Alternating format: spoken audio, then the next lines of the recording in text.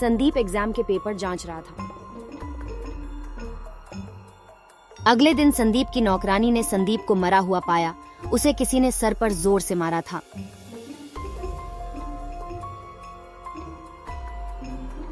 कमरा उथल पुथल था। ऐसा लगता है कि मारने वाला कुछ ढूंढ रहा था। जासूस मेहुल ने केस की जाँच पड़ताल की, उसको चार लोगों पर शक गया।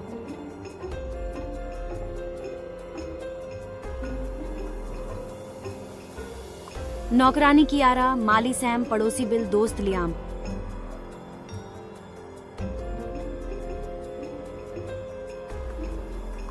आगे जाँच पड़ताल करने के बाद मेहुल को एक कागज़ का टुकड़ा मिला जिसमें 7,718 लिखा था।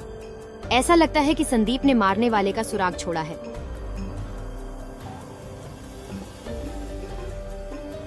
Kiara Sam Bill Liam.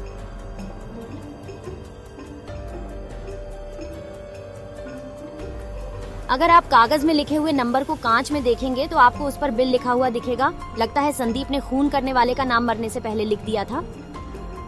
मारने वाला आपको कौन लगा था? कमेंट बॉक्स में बताइए।